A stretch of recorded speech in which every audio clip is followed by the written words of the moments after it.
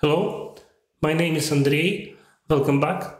Uh, today I'll explain how to implement generic workflow using FastAPI and Python and running uh, this on our open source um, infrastructure uh, called uh, Skipper.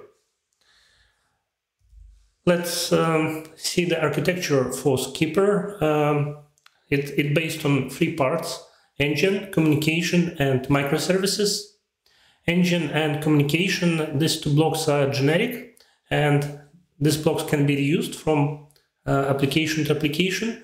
Uh, microservices part comes with a sample set of uh, ML services for data training and uh, serving or prediction.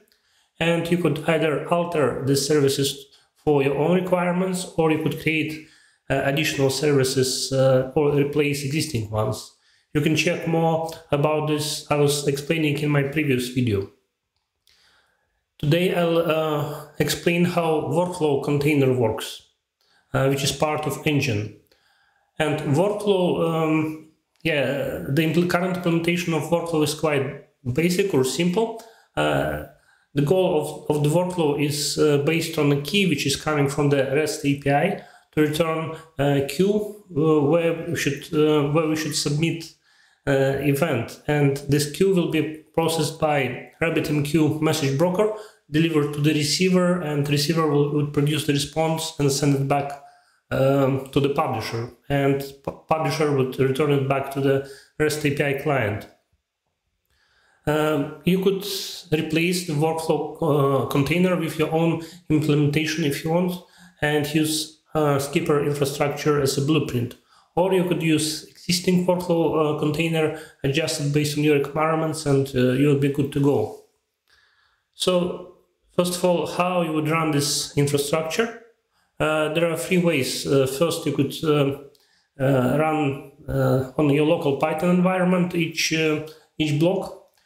second, you could run, you could use existing scripts to um, with Docker Compose to build containers and run containers.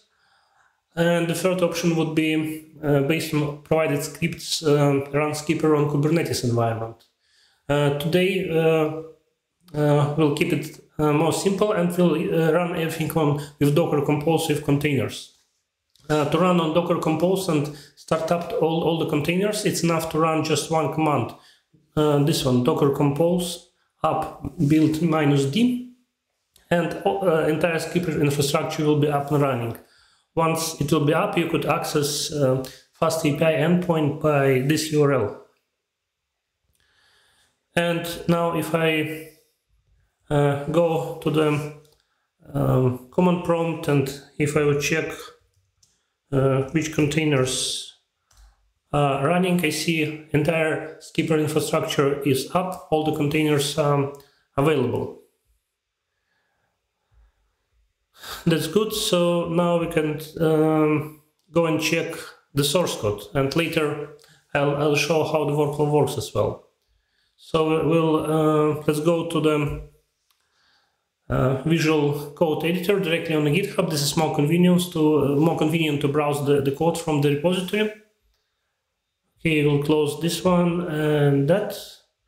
So first, first of all, let's uh, let's look into the API itself. So this um, API uh, project, which is packaged into the, its own container when it runs on Docker. And this um, um, uh, Python, Python script called router. Uh, router implements uh, FastAPI endpoints. So this uh, one uh, function which handles asynchronous requests and another one which handles synchronous. And these two functions are uh, uh, created in generic way because they accept uh, parameter which specifies request type. And based on request type, later call to the workflow is made and workflow returns which queue should be used to process that request. Uh, so let's look into the asynchronous first. Uh, over here, we start asynchronous task uh, using a Celery library. And this task is initiated over here under tasks. This is a process workflow method it gets all the parameters, and here it makes a makes a call to the workflow container with the task type, right? And then and workflow is responsible based on this task type to return the, the queue, which we should use to communicate with RabbitMQ. Uh, based on that queue, we will push uh, event to the message broker. And this is uh, how the communication is done with the workflow.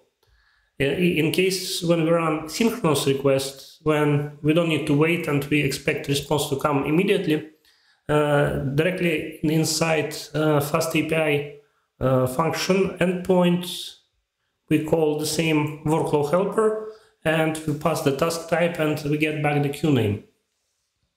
So let's see what this workflow, uh, how the workflow helper works.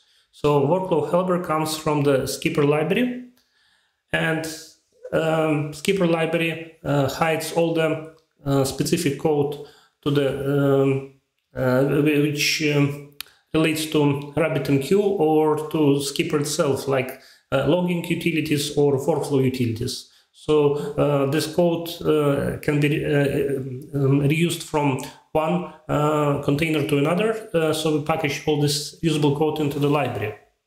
But when call is made, workflow container is being invoked.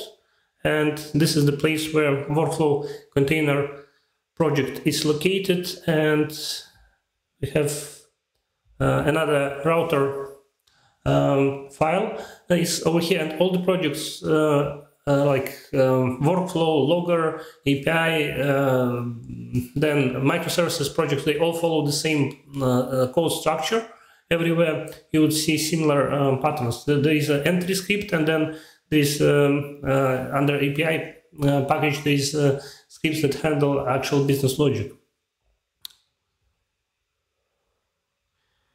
So uh, over here we have execute workflow queue name method. And uh, what we're doing here, we are calling uh, get queue name from the workflow from the script and here we're just loading a JSON file and based on the keys from this JSON file, um, uh, we are uh, getting the queue name and um, there are a separate group of uh, keys you could have for the synchronous and asynchronous, asynchronous uh, events because you may uh, use the same um, uh, key name like training and it can be either synchronous or asynchronous calls. So depending from which function call is made to the uh, workflow container, the uh, the name of of this event is basically suffixed with the either sync or async. Okay, and then when we get the value, it's being returned back uh, as a queue name. And then based on that queue name, um, through the RabbitMQ API, will push the uh, uh, event uh, to the message broker and it will be sent to the receiver for the further processing. Okay, so let's see how it actually runs. let's test our API, which runs on local Docker infrastructure. Mm, okay, uh, we get back that API is running, which is good. And next we'll uh, execute uh, asynchronous call to run model training. And this is the task type we specified training. And actually this um, task type will be used uh, uh, in our case here in tasks. This is the task type which will be submitted to the workflow container and based on the task type uh, asynchronous task, task type will get back the queue name where uh, event should be published right? Okay, and if we look uh, into the logger, so if we have a Celery, um, logger uh, log is printed over here, we can clean it up, and then we have another logger for the API, and this another logger for the workflow. So let's um, initiate a request for the model training request was submitted, task ID is returned, and we can see that uh, the API call was logged for uh, for the API, and then uh, we got uh, message logged for the celery asynchronous task execution and task is already completed and workflow container was invoked as well, which uh, returned the queue name. And because uh, celery reports that task is completed, we actually uh, can check and model is already built. We, we run Boston housing um, um, house prediction uh, house price prediction uh, model and just run 50 iterations and it's quite fast so it just does, uh, it runs in maybe five seconds. And let's uh, see through API if um, based on a celery task ID, uh, so let's copy paste correct ID. Okay, and we here execute, yeah, and task is completed. So we can go next and execute another um, synchronous request with task type serving. And in this case, when we execute synchronous request, then uh, it will go to the this uh, endpoint exec workflow task sync and will make a call to workflow and will pass pass a task type uh, suffix with, the, with the sync um, uh, with, the, with the sync suffix basically. And based on that, we'll get like previously it will get the queue name where um, event will be sent uh, into the message broker.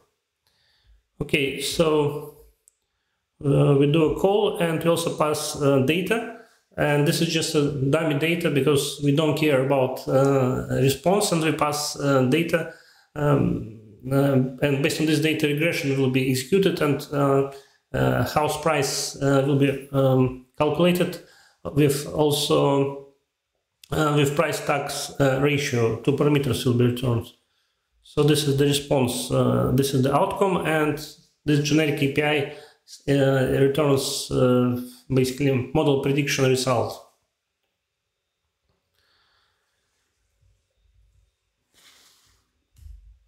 Okay, so let's switch to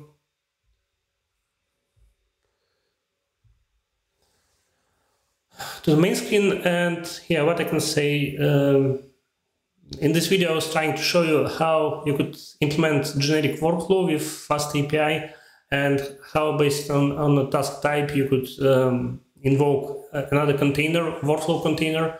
There, from there you could return the queue name and based on the queue uh, you could submit the event to the uh, to the RabbitMQ. So hopefully this quick uh, explanation was useful and uh, hopefully it um, uh, makes it more clear how to use uh, Skipper.